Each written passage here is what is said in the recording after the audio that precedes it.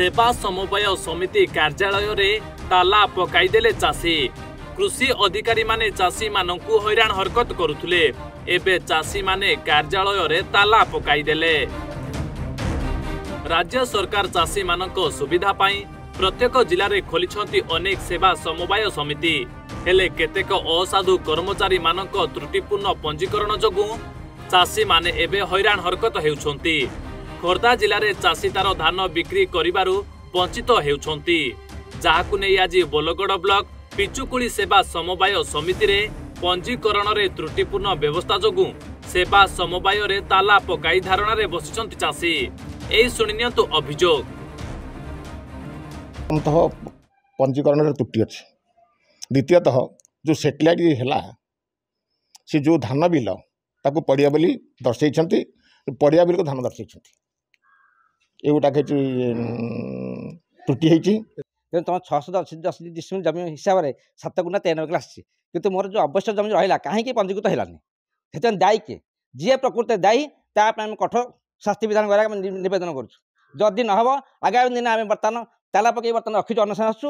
ଆଗାମୀ ଦିନ କଲେକ୍ଟର ବସି ବାଧ୍ୟ କି ଧସି ବସିକି କଲେକ୍ଟର ବି ଅନଶନ ବସିବୁ। ଚଳିତ ବର୍ଷ ଖରିଫ ଚାଷରେ ଧାନ ମଣ୍ଡିରେ ପଞ୍ଜୀକରଣ ବେଳେ ତ୍ରୁଟିପୂର୍ଣ୍ଣ ହେତୁ ଧାନ ବିକ୍ରି ବେଳେ ବହୁ ଚାଷୀ ବାଦ ପଡ଼ିଛନ୍ତି।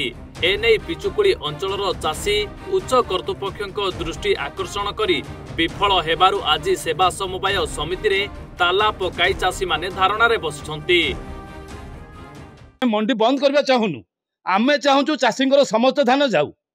ଆଉ ଯେଉଁ ସାଟେଲାଇଟ୍ ପ୍ରୋଗ୍ରାମରେ ହେଇଛି କେମିତି ସାଟେଲାଇଟ୍ ପ୍ରୋଗ୍ରାମ ହେଇଛି ଯେଉଁ ସାଟେଲାଇଟ୍ ପ୍ରୋଗ୍ରାମ ଧାନ ଯେଉଁଠାରେ ଅଛି ସେଇଟା କାଟିଛି ଯେଉଁଠାରେ ନାହିଁ ସେଇଟାକୁ ଆଣିଛି ତେଣୁ ଏଥିପାଇଁ ଜିଲ୍ଲା ପ୍ରଶାସନ ସମୁଦାୟ ଦାୟୀ ସରକାରଙ୍କ ପାଖରେ ଏ ଅଭିଯୋଗ କରୁଛୁ ଏବଂ ଜିଲ୍ଲାପାଳ ମଧ୍ୟ ୟାକୁ ବୁଝନ୍ତୁ ସେ ଫେରାଇ ଦେଇଥିଲେ ଚାରି ଦିନ ଭିତରେ କରିବା ପାଇଁ କହିଥିଲେ ଏବେ ସାତ ଦିନ ହେଇଗଲାଣି ତାର ସମାଧାନ ହେଇନାହିଁ ତେଣୁ ସୋସାଇଟି ତାଲା ପଡ଼ିଛି ଏବଂ ଭବିଷ୍ୟତରେ ନିଶ୍ଚିତ ୟା ଆହୁରି ଆଗକୁ ବଢ଼ିବ ସନ୍ଦେହ ନାହିଁ ତେବେ ଏନେଇ ଆମେ କୃଷି ଅଧିକାରୀଙ୍କୁ ଫୋନ କରିଥିଲୁ। ଆଉ ସେ ଫୋନରେ ତାଙ୍କର ପ୍ରତିକ୍ରିୟା ରଖିଥିଲେ କି ଚାଷୀମାନଙ୍କର ଅଭିଯୋଗରେ ସେ ଅବଗତ ଅଛନ୍ତି। ଆଉ ଖୁବ୍ ଶୀଘ୍ର ଏହାର ସମାଧାନ କରାଯିବ ବୋଲି କୃଷି ଅଧିକାରୀ କହିଛନ୍ତି। ନାଇଁ ନାଇଁ କାଗଜ ପତ୍ର କିଛି ତ୍ରୁଟି ନାହିଁ। ଆପଣ ଆମେ ସେଇଟାକୁ ତାଙ୍କୁ ବୁଝାବୁଝି କରିକି ସବୁ ଏଭିଡେନ୍ସ ଦେଖେଇଲୁ। ଠିକ ଅଛି ଆମେ ତାଙ୍କୁ କହିଛୁ ସେ ଆଉ ଗୋଟେ ମିଟିଂରେ ଧାନ ଆମର ଯିବ। ଧାନ ଲିଫ୍ଟିଂ ହବ।